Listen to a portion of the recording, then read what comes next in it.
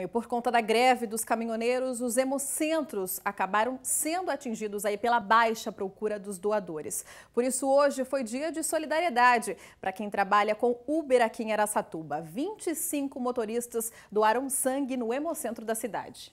As doações começaram às 7 horas deste sábado no hemocentro de Araçatuba e permaneceram durante toda a manhã. Os motoristas vestiam camisetas pretas. As bolsas de sangue agora vão fazer parte do estoque, já que nessa época de temperaturas mais baixas, o local enfrenta menos procura por parte dos doadores. Foi a primeira vez que os motoristas do Uber se reuniram na cidade para a doação.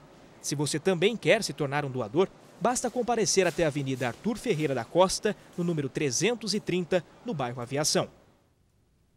Bom, e em Rio Preto, o Hemocentro precisa da colaboração de toda a região nesse feriado prolongado. É que as doações de sangue estão 30% abaixo do normal. A unidade irá funcionar amanhã, das 7 da manhã até 1 hora da tarde.